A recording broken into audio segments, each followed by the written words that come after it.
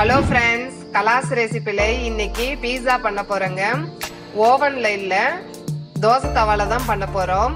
இது ரொம்ப கஷ்டம் கிடையாதுங்க. ஈஸி தான். எப்படி டேஸ்ட்டாக பண்ணுறதுன்னு இந்த வீடியோவில் பார்க்கலாம். வாங்க.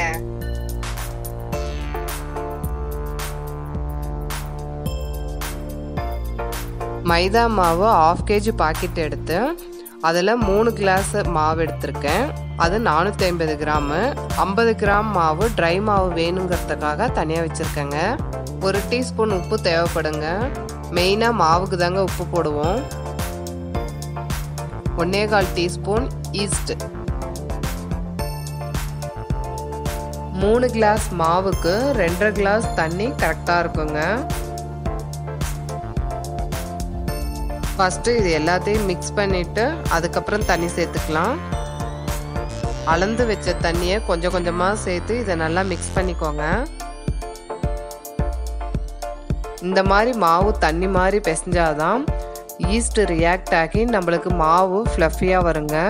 பாருங்க நல்லாவே கையில் ஒட்டும். அந்த அளவுக்கு இருக்கணும். கெட்டியாக பிசையக்கூடாது. இதை காற்று போகாத அளவுக்கு இந்த மாதிரி மூடி வச்சிடலாம். ஒன் டே நைட்டு ஃபுல்லாக இது ஊறணுங்க. இருக்கட்டும். எட்டு மணி நேரம் ஆயிடுச்சு. எப்படி இருக்குன்னு பார்க்கலாம். வாங்க. பாருங்க கொஞ்சம் உப்பி இருக்குது நம்ம கையில் ஒட்டாத அளவுக்கு இருக்கிற மாதிரி ட்ரை மைதா மாவை போட்டு பிசைஞ்சிக்கோங்க.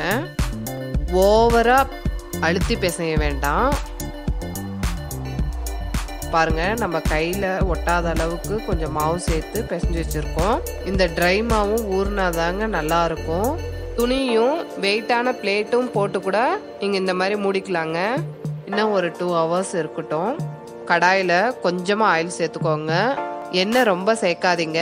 பீஸாவில் ஒட்டாது. பதினஞ்சு பல்லு பூண்டு மிக்சி ஜாரில் அடித்து இதில் சேர்த்துருக்கேன். கலருக்காக Kashmiri chilli one and half teaspoon இதையும் சேர்த்து நல்லா வதக்கிக்கோங்க. பூண்டு நல்லா வதங்கின உடனே ஸ்லைஸாக கட் பண்ணி வச்சிருக்க மூணு மீடியம் சைஸ் தக்காளியை இது கூட சேர்த்துக்கோங்க. இதுக்கு தேவையான உப்பு கொஞ்சம் மஞ்சத்தூள் சேர்த்து தக்காளியும் நல்லா வதக்கிக்கோங்க.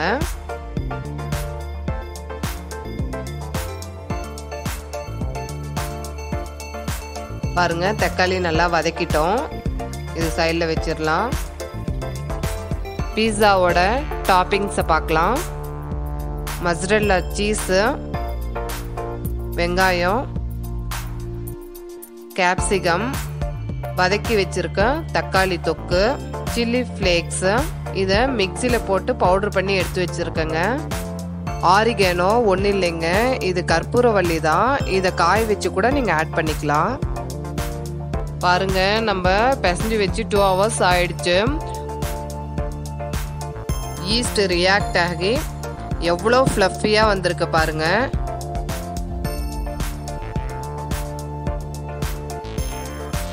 இந்த மாவை நாலாக டிவைட் பண்ணி எடுக்கிற மாதிரி ரெடி பண்ணிக்கோங்க.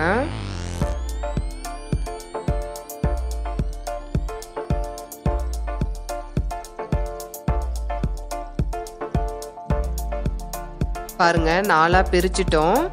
இதில் ஒரு பீஸாக்கு நம்ம ரெடி பண்ண ஸ்டார்ட் பண்ணிடலாம். இந்த மாதிரி தேய்ச்சிக்கோங்க. ரொம்ப அழுத்தி தேய்க்க வேண்டாங்க. தேய்ச்ச பிறகு கார்னரை கொஞ்சம் கையால் இந்த மாதிரி அழுத்தி விட்டுக்கோங்க.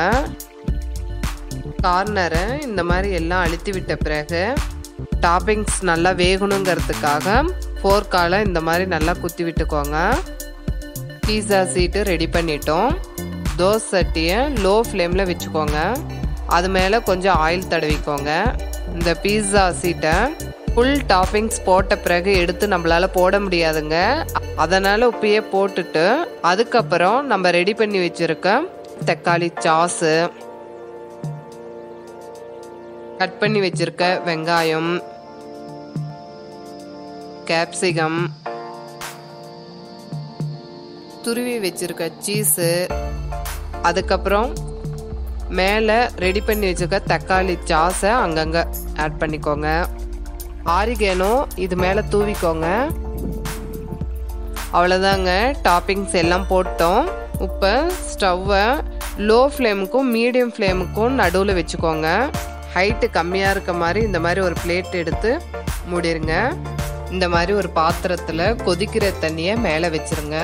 இது குக் பண்ணுறதுக்கு எயிட் டு டென் மினிட்ஸ் ஆகுங்க. டென் மினிட்ஸ் ஆயிடுச்சு. வாங்க எப்படி இருக்குன்னு பார்க்கலாம். பார்க்கறதுக்கு எவ்வளோ சூப்பராக இருக்கு. இந்த மாதிரி தண்ணி மேலே வைக்காம ஜஸ்ட் மூடி மட்டும் வச்சிங்கன்னா அதனுடைய ஸ்டீம் வாட்ரு பீஸாலேயே விழுந்து சாஃப்ட் ஆகிடுங்க கிறிஸ்பியாக வராது. இப்போ எல்லா சைடும் ஹீட் இருக்கும்போது சாஃப்டாகவும் இருக்கும் கிறிஸ்பியாகவும் இருக்குங்க.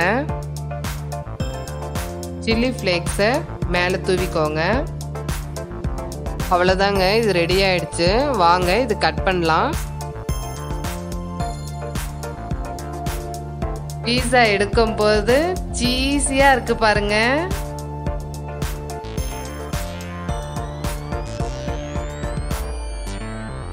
க்ரஸ்ட்டு சாஃப்டாக ஃப்ளஃபியாக இருக்குது நம்ம வீட்டில் செய்யும் போது எல்லா இன்க்ரீடியன்ஸும் கொஞ்சம் எக்ஸ்ட்ராவாக போடுறோம். தக்காளியோடைய அந்த புளிப்பு டேஸ்ட்டு அது கூட வெங்காயம் கேப்சிகம் சீஸு எல்லாம் சேர்த்து சாப்பிடும்போது டேஸ்ட்டு செமையாக இருக்குங்க. இதை நீங்கள் ட்ரை பண்ணி பார்த்துட்டு உங்களுடைய கமெண்ட்ஸை எனக்கு ஷேர் பண்ணுங்கள் இந்த வீடியோ உங்களுக்கு பிடிச்சிருந்ததுன்னா கலாஸ் ரெசிபிக்கு சப்ஸ்கிரைப் பண்ணுங்கள் பெல் ஐக்கானை கிளிக் பண்ண மறந்துடாதீங்க.